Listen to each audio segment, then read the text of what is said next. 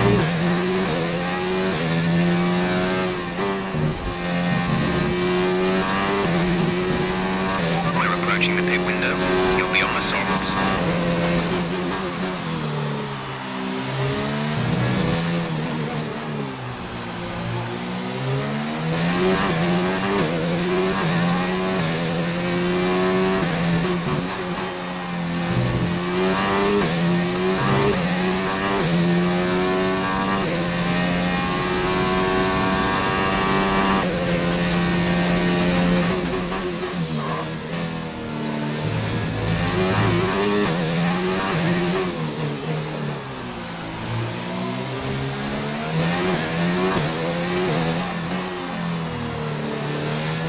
yeah.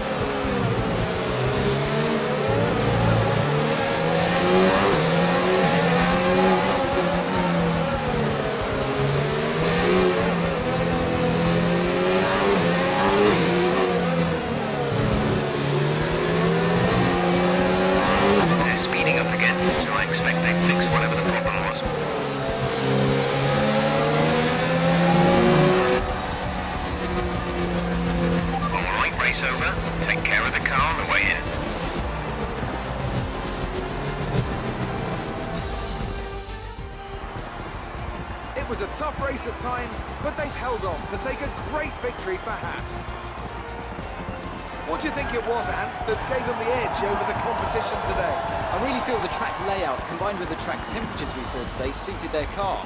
These cars come alive when the tyres are just at the right temperature, and the driver did a great job managing that as well. They just look so comfortable out there. It's like anything. Haas are no doubt happy with today's performance, having secured the win this weekend. And our drivers are making their way out for the podium celebrations. So then, it's time to see how this result affects the Drivers' Championship. That lead at the top of the table has shrunk somewhat today. Now, let's discuss, Ant. Who would you say is a contender for Driver of the Day? Well, it's got to be Kevin Magnussen. He displayed exceptional skill out on the track today and wasn't afraid to fight his way through the pack. Let's move on to the constructors. The current championship leaders still hold top spot, but that gap is getting smaller. It was also a strong Grand Prix from Haas F1 this weekend. Fantastic work from the American team to move themselves further up the table. Well, Ant, an end to another fantastic weekend of racing. Thanks to everyone who joined us, and we'll see you for the next one.